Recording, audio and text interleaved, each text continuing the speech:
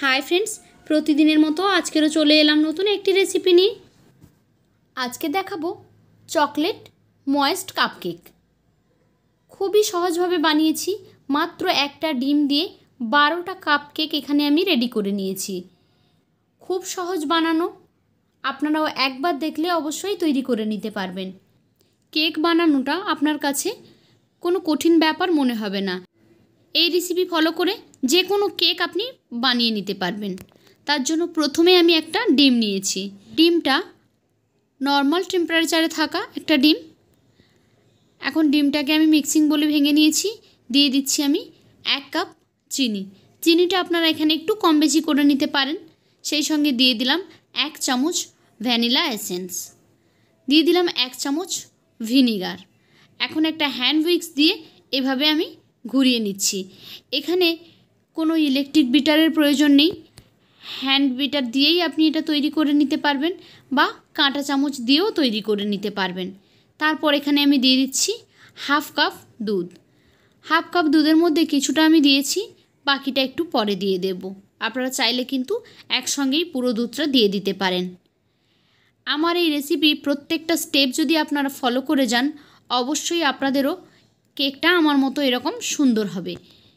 পুরো দুধটা এখানে দিয়ে দিয়েছি। দিয়ে দিচ্ছি এখানে আমি হাফ কাপ সাদা তেল। প্রত্যেকটা মাপ যদি আপনি ঠিক রাখেন, তাহলে কেক সুন্দর অবশ্যই হবে। এখন সমস্ত কিছুকে আবারও খুব ভালোভাবে মিলিয়ে নিচ্ছি।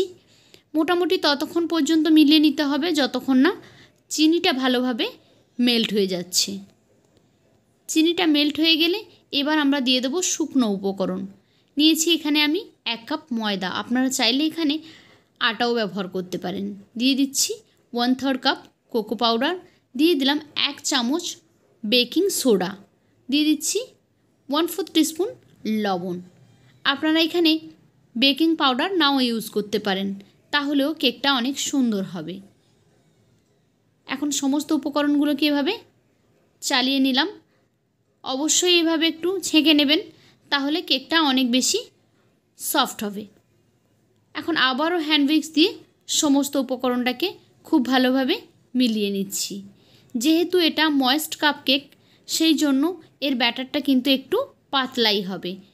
যেরকম আমার ব্যাটারটা দেখতে পাচ্ছেন, ঠিক এরকম কনসিস্টেন্সি থাকবে।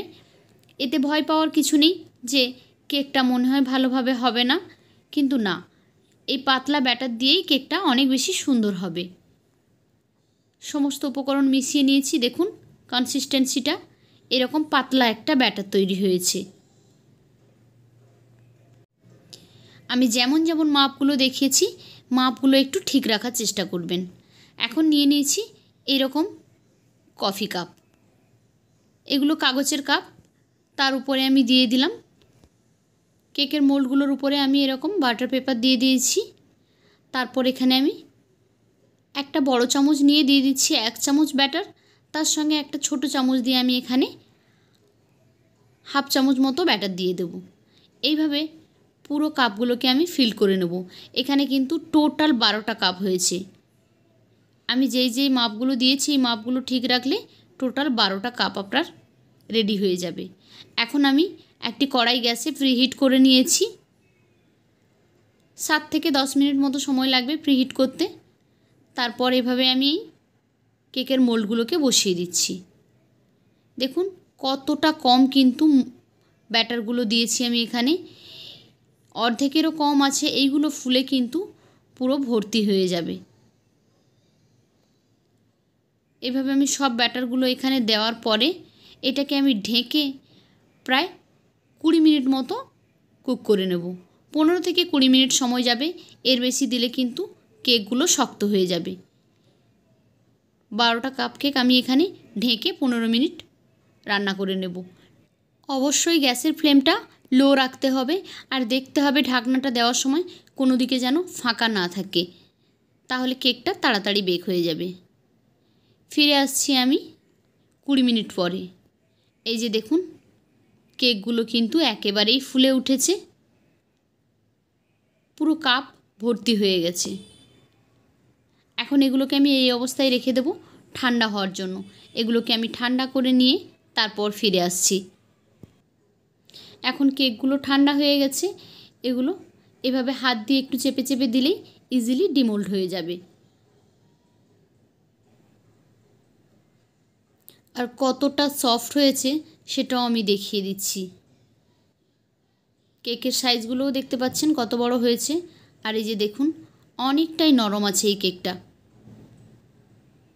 সবগুলো আমি ডিমোল্ড করে নিয়েছি। এবার আমি এখান থেকে একটা কেক নিয়ে আপনাদেরকে ভেঙে দেখিয়ে দিচ্ছি, এটা কতটা সুন্দর হয়েছে ভেতর থেকে। তো দেখলেন কেক বানানো কতটা ইজি তো কেমন লাগল আজকের আমার এই রেসিপি যদি ভালো লেগে থাকে তাহলে লাইক কমেন্ট অ্যান্ড শেয়ার করবেন। আর এরকমই রেসিপি পেতে আমার চ্যানেলটিকে সাবস্ক্রাইব করে বেল আইকানে ক্লিক করে নোটিফিকেশান অন করে দেবেন। তাহলে যখনই আমি কোনো নতুন ভিডিও আপলোড করব, সেই ভিডিও নোটিফিকেশান সবার আগে পৌঁছে যাবে আপনাদের ফোনে তো আজকের মতো এই পর্যন্ত। ফিরে আসব আগামীকাল নতুন আরও একটি ভিডিও নিয়ে। ততক্ষণ সবাই ভালো থাকুন। টাটা!